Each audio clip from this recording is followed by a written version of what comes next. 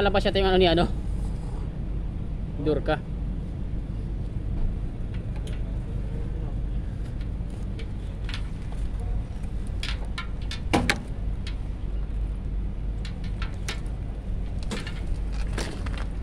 What's up, what's up mga ka-dreamers?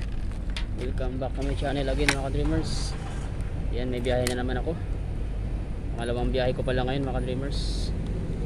Araw ng uh, Miyerkules. 8 o'clock ng gabi. Yan, samahan niyo muli ako mga ka-dreamers sa aking pangalawang biyahe.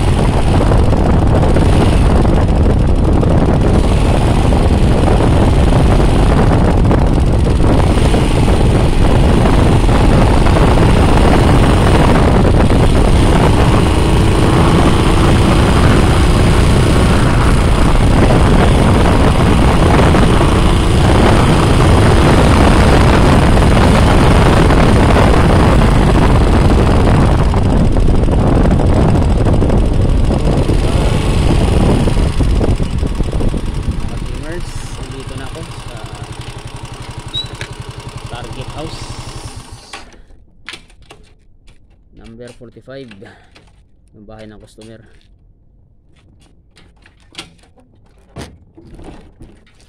okay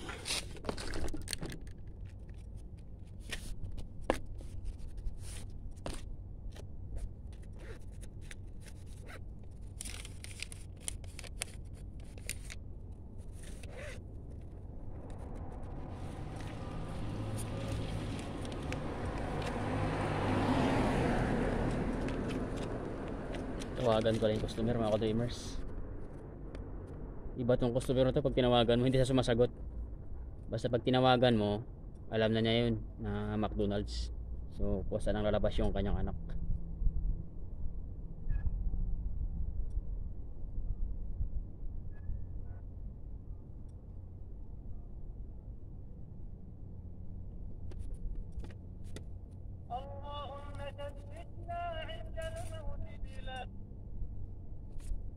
Yes, good evening. Outside McDonald's. Okay. Ay, ma'am. Thank you. Ba, himala ngayon mga dreamers sumagot. Kasi nakailang deliver na ako rito halos uh, kada deliver ko hindi sumasagot to. So first time, first time sumagot yung customer mga dreamers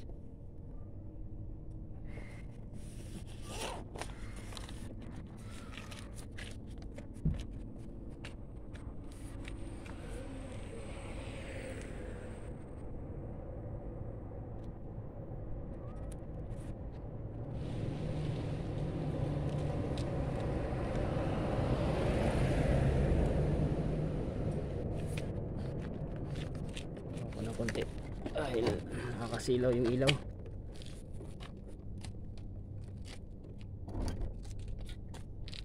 abot pa rin ah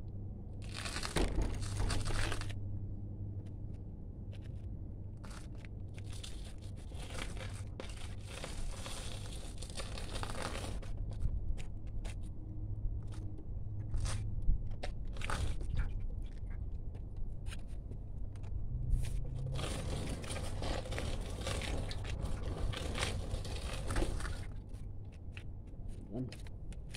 Wala nang nakakasilaw. Nakakasilaw yung ilaw mga ka-dreamers. Gusti ng ilaw.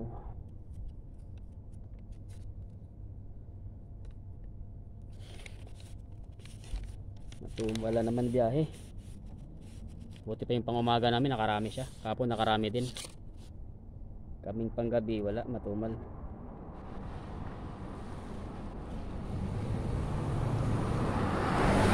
O na dito mga ka-dreamers. Ayan 20.03 so, ibig sabihin alas 8.03 na ng gabi.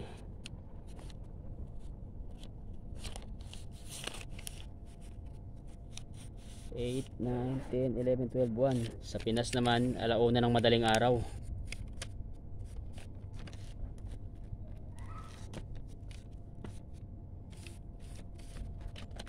Pinakata yung customer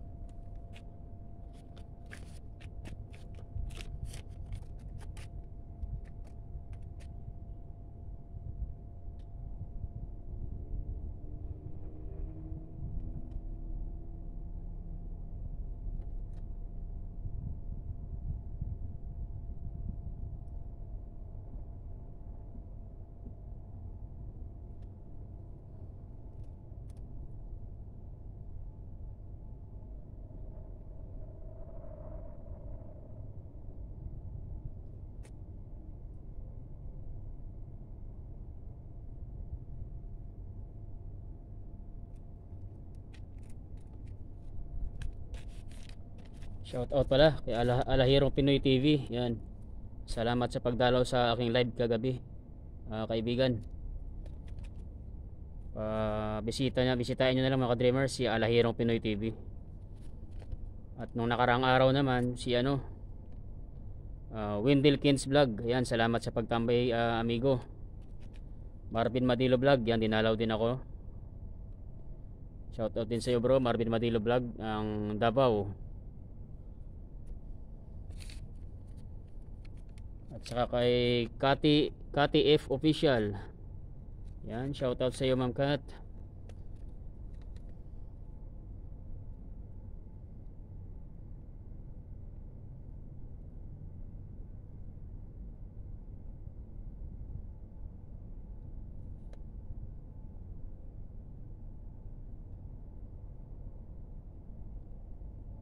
Okay, ano din, shoutout din, uh, Vilma Abanilla. Yan, dumalaw din nung nakarang araw sa aking ano live live stream. Salamat salamat sa mga dumalaw at nag-like. Malaking bagay yung pag-like mga ka-dreamers.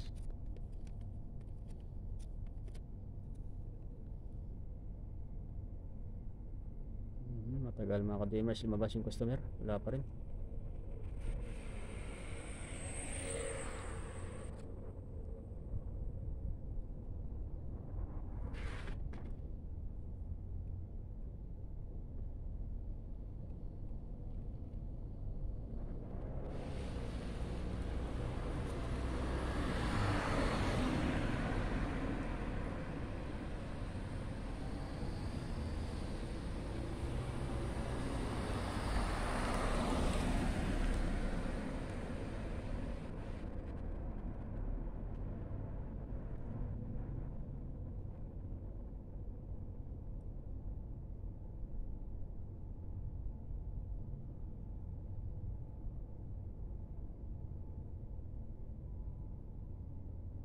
Wala pa rin ah.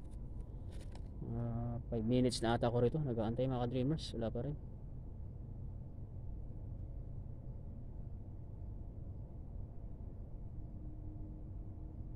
Kadalasan talaga dito matatagal ano, matatagal lumabas yung mga customer. Hirap pagka marami kang dala kasi minsan nagdala kami ng tatlong order. Minsan apat pa. Pagka talagang maraming order. Pag matagal lumabas, malilit yung iba mong order. Kasi ang maximum na delivery namin dito, 1 hour lang. So kailangan, kunyari apat yung dala mong order, within 1 hour, madeliver, madeliver mo na lahat yun. Kaso kalaban namin dito, yung mat- matatagal lumabas. Yung pinakahuli mong deliver, minsan late na. Nagko-complain na yung customer. Pero sa akin naman, wala pa naman akong complain. Simula nung ano, lahat ng store na napuntahan ko, wala pa akong complain sa mga ano, mga late order.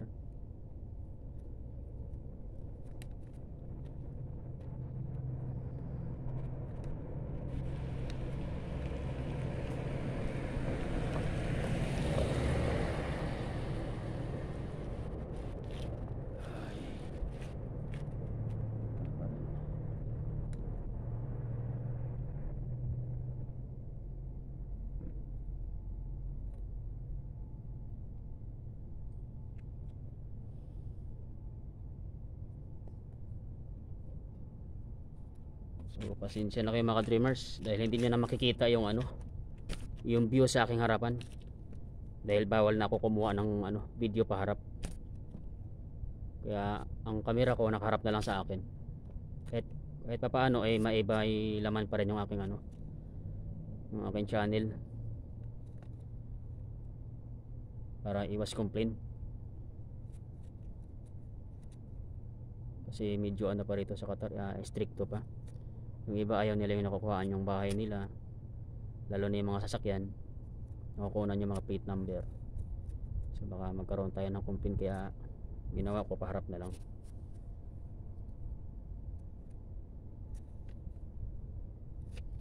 Parang lumalabas to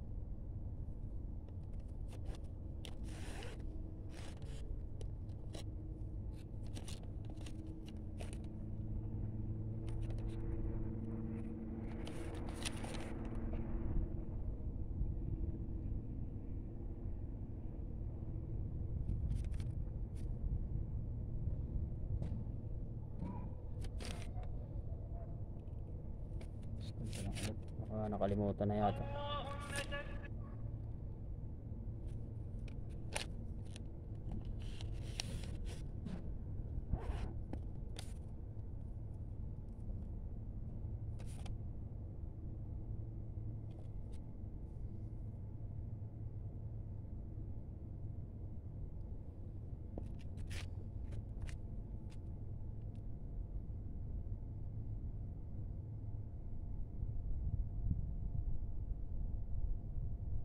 wala pa rin lumalabas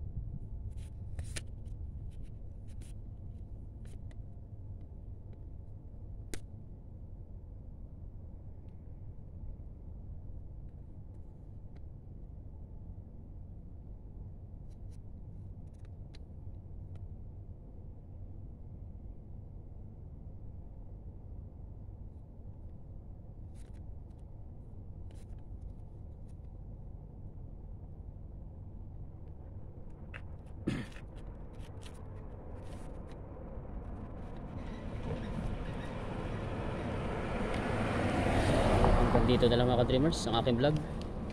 Dahil matagal mabas yung customer. So mahaba pa lalo yung aking ah, video. So maraming maraming salamat uli sa inyong panonood at walang sawang suporta. Ingat tayo palagi mga ka-dreamers and God bless all sa ating lahat